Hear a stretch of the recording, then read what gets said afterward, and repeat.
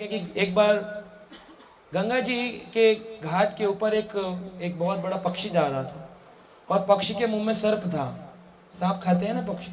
तो सर्प ऊपर से नीचे गिरा। जब नीचे गिरा पक्षी के मुख से सांप तो देखा सांप तो ऊपर से नीचे आया, लेकिन अंदर से चतुर्भुज रूप लेके कोई ऊपर चला गया। तो देख करके गरुण हैरान हो गए। बोले, ये क्या था? ऊपर से जा रहा था नीचे तो पक्षी, सर्प था, ऊपर गया तो चतुर्भुज रूप विष्णु हो गया, ये क्या हो गया? तो उन्होंने पूछा शिव जी से जाके शिवजी बोले, गंगा की महिमा नहीं जानते? बहुत बड़ी महिमा है। गंगा के स्पर्श मास से कोई विष्णु मूर्ति हो सकता है, वैकुंठ मूर्ति हो सकता है। तो पार्वती जी बोली, सच में? ये जितने लोग नहा रहे गंगा किनारे, सब वैकुंठ मूर्ति जो हुए, सब विष्णु लोग को जाएँगे?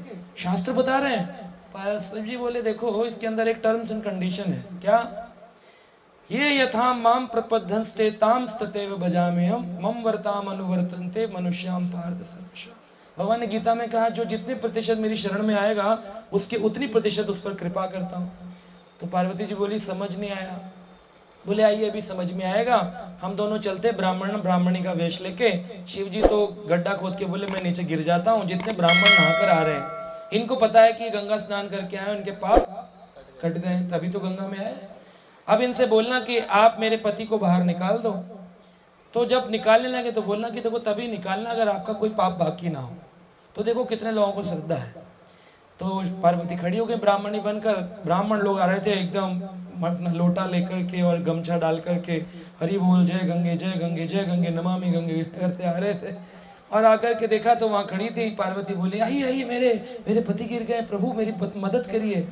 तो ब्राह्मण बोला कि अच्छा अच्छा लाइए मैया हेल्प करते हैं। हाथ बढ़ाए हाँ हाँ एक मिनट एक मिनट एक मिनट। आप ध्यान दीजिएगा, कोई पाप आपका बाकी तो नहीं है। बोला, पाप हो भी सकता है। बोले, फिर मत चाहिए क्योंकि मेरे पति को है ना सब वरदान है कि अगर कोई एक भी पाप हुआ और छू लिया तो उसके सर के सौ टुकड़े हो जाएँगे तो एक ब्राह्मण गया, दो ब्राह्मण गए, दस ब्राह्मण, पचास ब्राह्मण, पूरी मंडली निकल गई। मंदिर में जितने बैठे थे, सब चले गए, किसी ने नहीं छुआ। तो पार्वती हैरान हो बोले, सब स्नान करके आए, किसी को नहीं श्रद्धा है। फिर एक भक्त आया, उससे बोला कि, आप छूलेंगे बोले, एक भी पाप रहा तो आपके सौ टुकड़े हो जाएँगे। कैसी बात करते हैं जी? गंगा जी का स्पर्श किया, क्या कोई पाप बाकी रह जाएगा? तो उसने तुरंत उनको शिव जी को बाहर निकाल दिया।